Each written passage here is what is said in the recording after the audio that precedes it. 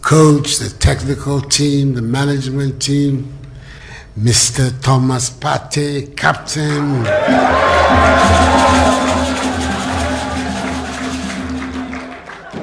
and the members of the Black Stars.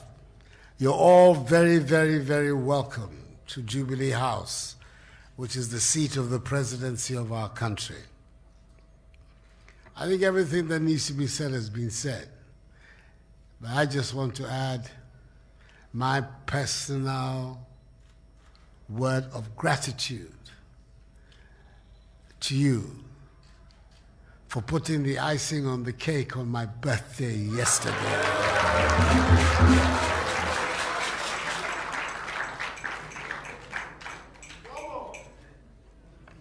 the way these things happen. Today I had to give a statement to the parliament on the state of the nation. And it meant that yesterday, when you were playing, I was in a meeting with those who helped me put these things together. So sad as it is to say, I didn't actually watch the match. But what I heard were the reactions of people in my office as you were playing and they were watching. And when you score the first goal, there's an Arsenal contingent in my. yes, yes, I agree with you. Yeah. Chris Hughton and I, we belong to the other side in North London. Yeah. They came rushing in that uh, you've won the game for us. But really, the nation was so elated by your performance, both in Kumasi and also in uh, Abuja. In Kumasi, we saw that the Black Stars that we knew, the committed, skillful set of footballers that we grew up with here, had come back. Now, we didn't see it, unfortunately, in the AFCON, but we saw it in Kumasi. And really, after Kumasi, I was very, very calm here that I knew that in Abuja it was going to work out well.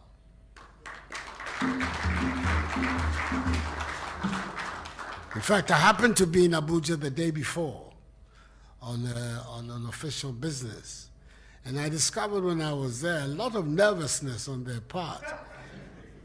I'm talking before the, before the Friday.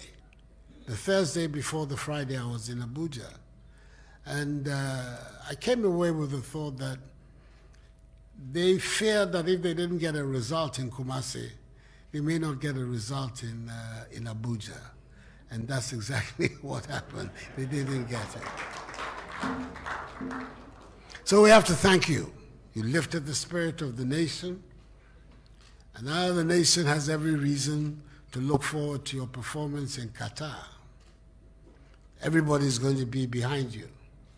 And we're going to give you all the maximum support that we can. The ministry, the officials of the Ghana Football Association, the Ministry of Youth and Sports, and all the organizations in the, in the, in the state that work with sports and football.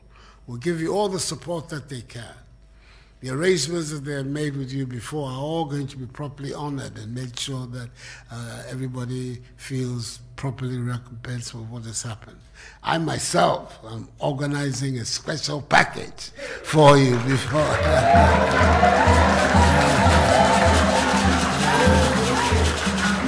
as, as, as, as, a token, as a token of my appreciation and recognition. But I think that above all, what we want to see, what we have seen in these two matches is the oneness, the cooperation, the solidarity, right from the management through the technical team, through the team, of people working together for a common goal. And that is what we want to see continue. I'm hoping that the technical team that has been put together for these two matches will at least take us through the World Cup itself. I told the coach, the head coach, that he ought to be careful when he came to Ghana. He might likely be kidnapped here and will make it difficult for him to go back to, Holland, to, to Germany and to Dortmund that we want him here. But I would, I would, uh, Mr. Kriku, uh, whatever you can do to make sure that the team stays uh, together, at least until Qatar. Then afterwards we can take the long-term decisions. The reason is that a situation whereby Arsenal, Tottenham, and everybody is together in one arrangement. That's a formidable uh, arrangement. Tottenham is very well represented here, both here and here. And oh yes, yes, yes, the vice president. The vice president is also a strong supporter of the cockerel of, of, of Spurs. So let's keep together. And the, the hunger, the desire, the determination that we saw in Kumasi, that we saw again yesterday, keep together. And out of it, I know something even greater is in the future for us. The person that we grew up worshiping as the greatest footballer of all, the great Brazilian Pele, said that in his lifetime, he was sure that an African team would win the World Cup.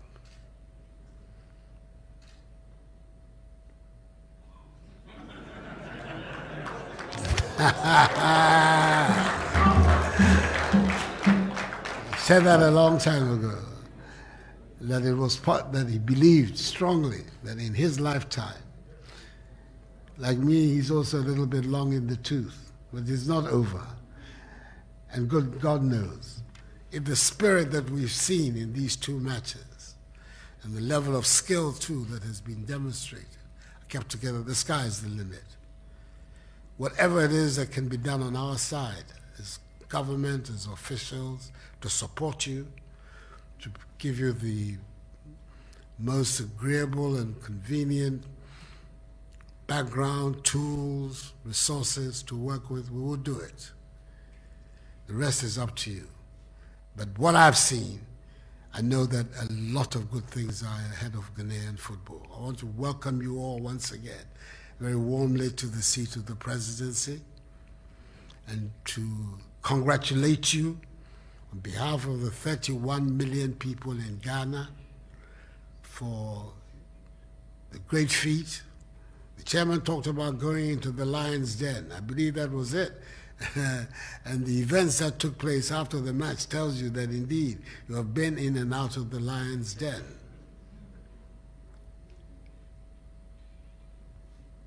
But the spirit. And at the end of the day, you know better than I how much how important that is in sport. You've done very, very well. The nation is very proud of you. And we want to have more reasons to be proud in Qatar in December. I want to wish you the very best of luck. And as I say, whatever my part and the part of my government we can do to assist we're going to do it. You're lucky. You have all kinds of very responsible and Ghanaian, senior Ghanaians who have all been roped into the, into, into the, into the boat. Sammy Kuffour, um, one of the greatest players that our country has produced. Mark Addo, Kwame Sikkins, the Grunsah. Alhaji Grunsah.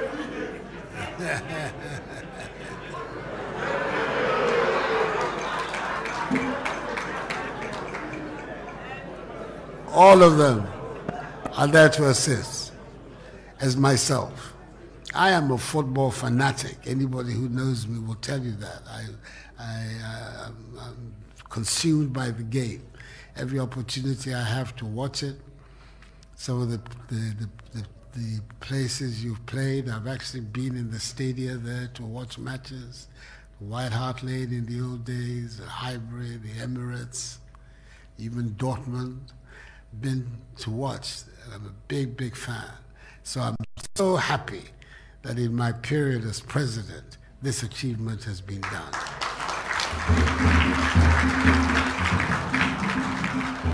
So I want to thank you for that. To say you're very, very welcome here. Thank you very much. May God bless you all. Thank you. I forgot.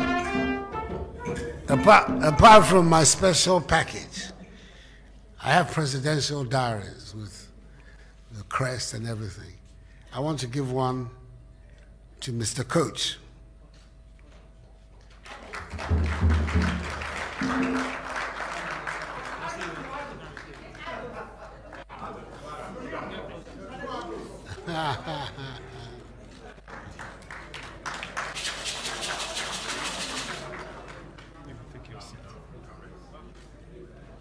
And the Arsenal man, Mr. Captain.